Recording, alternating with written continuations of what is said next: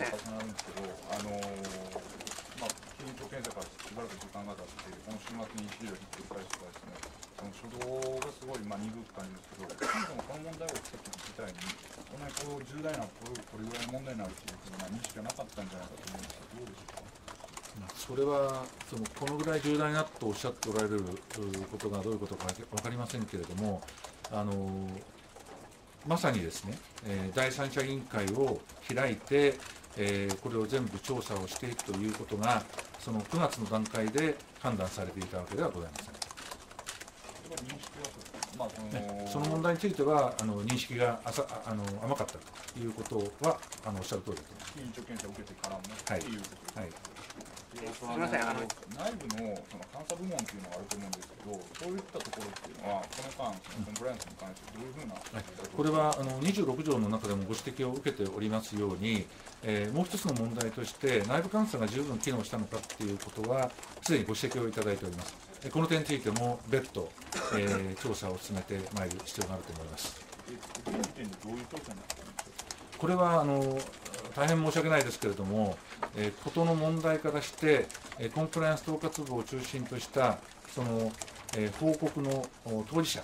のところに、えとにかく全力集中して今調査を始めておるところでございますので、え監査業務監査の方に同じようなレベル感において調査を進めている段階には至っておりません。今後やっていく必要があるというふうには思っております。問題っていうのがあるっていうのを認識してたかどうかっていうのも現時点でわからない。えちょっと今の段階では分かりませんしかし、東北がご存知なのに、何もアクションを取らなければ、担当部門が動きようがないじゃないですか。何もアクションを起こさないというか、これから起こしていくつもりでございます。かかつての段階でね。すみません、あの9月27日の段階で佐藤さん委員長の委員会を作ったと、今から振り返ると、3月の時点でその委員会立ち上げてですね、ちゃんと調べるべきだったというふうにお考えですか？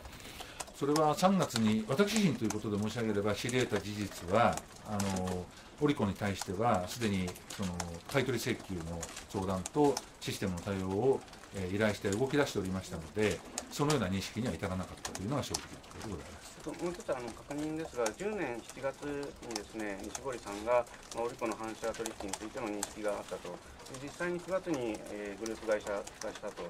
で、えー、確か10年の12月にですね、まあ、おそらく200件 ,200 件程度、うんはい、えー、実際にあることが分かったと、反射取引があることが分かったと、その10年12月の段階で西堀さんに対する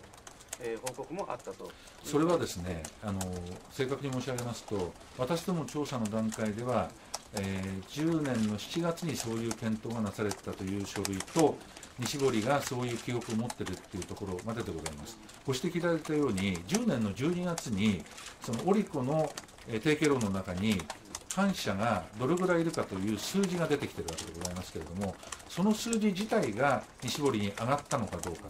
ということについては、今後の調査でございます。この点がその上まで上がっていたのかどうかということについてのですね、その中身に関わってくる問題だというふうにあの十分認識しておりますので、えこれはしっかりと調査してもらいたいというふうに。先ほどあの先ほどあのあのオリックのアン取引についてスペシフィックにこう議論がされてなかったということだったんですこれ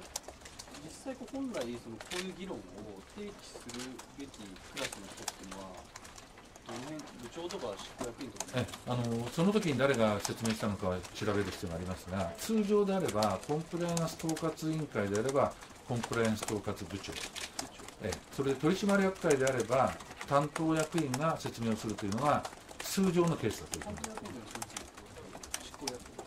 えこれはあの今で申し上げれば今というかあの9月までで申し上げれば小池の立場の一人でございます。今回その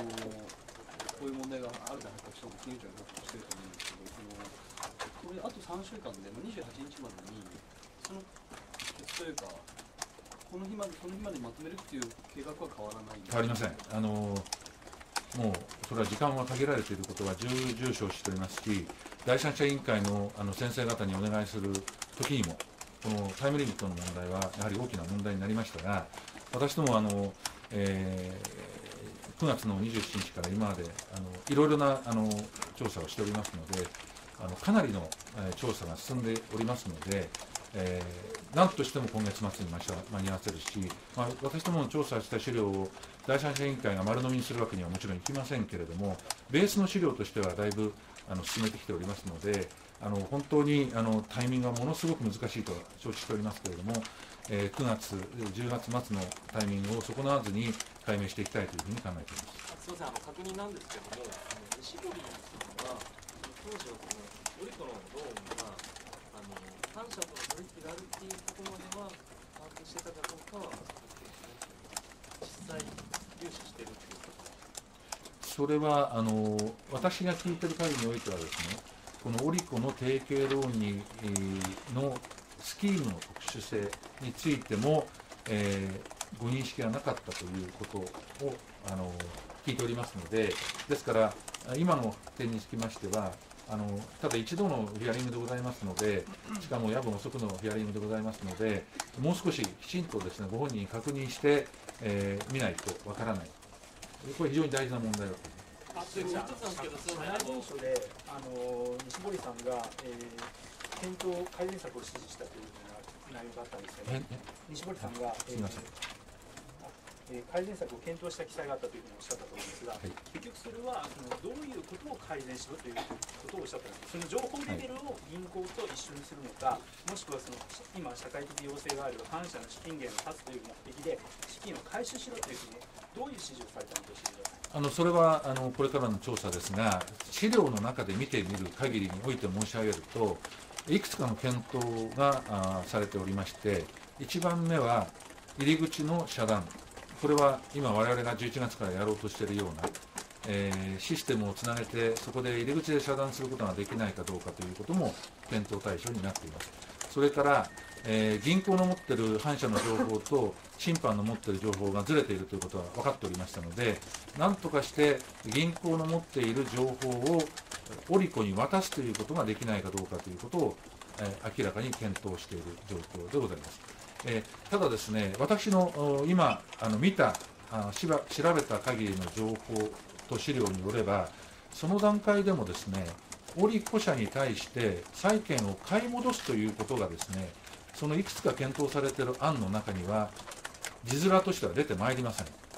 それがなぜそうなのかということは、あの西堀、そして関係者に聞いてみなければいけませんけれども、入り口の遮断まで検討している、そっちの方が強いわけですので、にもかかわらず、受けた債権については、銀行の反社の情報で、それをオリコに還元するという方策の検討にとどまっていて、その債権を買い戻させるという案は、私の見ているその検討の資料の中には入っておりません。まあ、従ってですね、その問題がずっと尾を引いて、今ご指摘いただいている、本来買い取らせるべきじゃなかったかということに、もしかしたらずっとつながっている可能性がありまして、その問題はですね、今回の結論には非常に重要な問題だと思っておりますので、調査を